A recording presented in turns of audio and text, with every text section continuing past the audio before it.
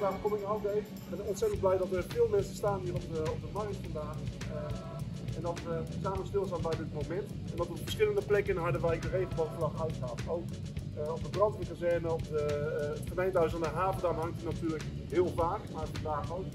en op verschillende andere plekken in de stad. Onderwijsinstellingen, het ziekenhuis wordt op dit moment volgens mij ook gehezen. Op dit moment door Herman Boer samen met de directeur van het, van het ziekenhuis in Jansdal. Op deze dag vragen we aandacht voor al die mensen die um, ja, goed, uh, vanuit de regenbooggemeenschap uh, uit de kast willen komen. He, die een coming out hebben, die hem hebben gehad, en die nog op het punt staan dat ze die coming out uh, nou ja, willen krijgen, moeten krijgen. Ehm, dat is een ontzettend lastig moment. Het kan een ontzettend lastig moment zijn. Daarom is het goed om daar extra aandacht voor te vragen.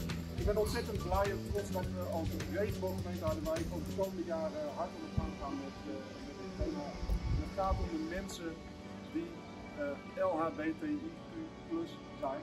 Ik stop al bij de plus, want er is ontzettend veel, ontzettend grote diversiteit die we kunnen benoemen. Uh, maar juist in hokjes plaatsen, daar moeten we de komende jaren een mee stoppen. Heb een hele mooie dag vandaag. Uh, blij dat jullie er zijn en zet een mooie werk.